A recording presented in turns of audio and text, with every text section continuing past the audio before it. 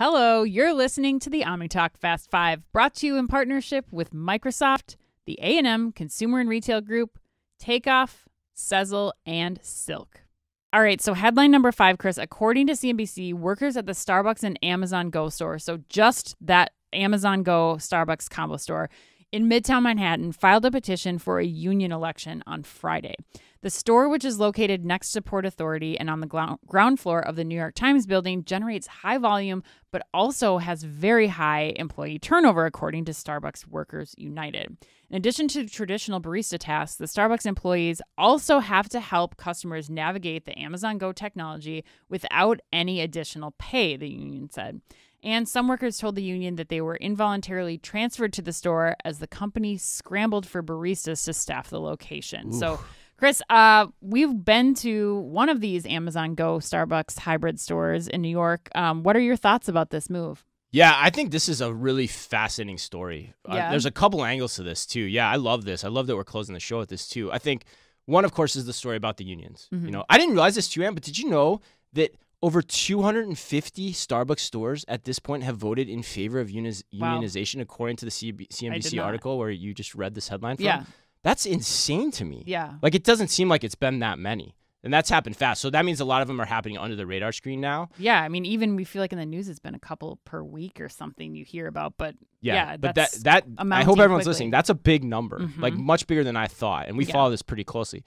But the other important point to me, which getting away from the labor unions on this, which I think is interesting, is we saw this store in New York last last NRF. We went mm-hmm. to check it out, and you know, our takeaway was that the store could have been so much cooler.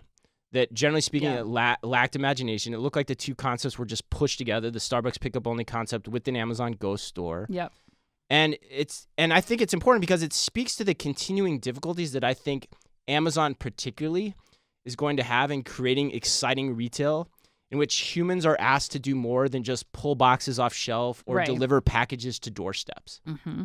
And the other point I'd make is if this vote goes through, the thing that makes me really sad about it yeah. is that this concept had so much promise mm-hmm. ultimately. And if it goes through, I think this concept is probably dead. Yeah. Going forward. And so that's just, it speaks to me that Amazon, I hope if you're listening, you've got to focus on the human design elements of your staff yeah. and how they service customers in a way that's much more, much different probably than you've ever had to before. Yeah.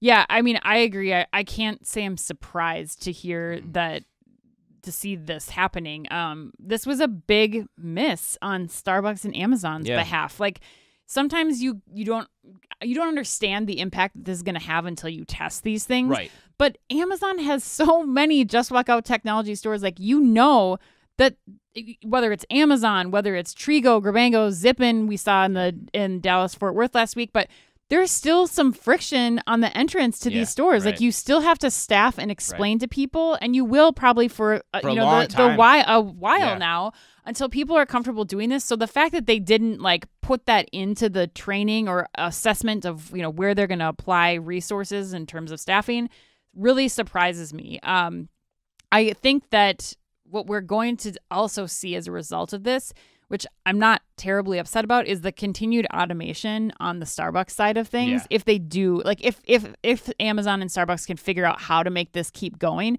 it's like again, how do you figure out how to continue automation on coffee prep and making, and then apply resources to the handoff experience that we've seen so well executed in the pickup only stores for Starbucks and then that that journey making or like creating for the people yeah. that are coming inside the Amazon Go store cuz the concept is smart it's just how it's being executed. Yeah, right. And yeah, I mean, you're, you're great point too. Like all roads lead down the same path, which is probably less employees in the store over the long run and more automated tasks, decide, regardless of whether these these experiences are combined or not. Yeah. Whether you look at Starbucks, whether you look at Amazon, or you look at some new iteration of a coffee shop and a just walk out experience over time, that's going to happen. Right, right.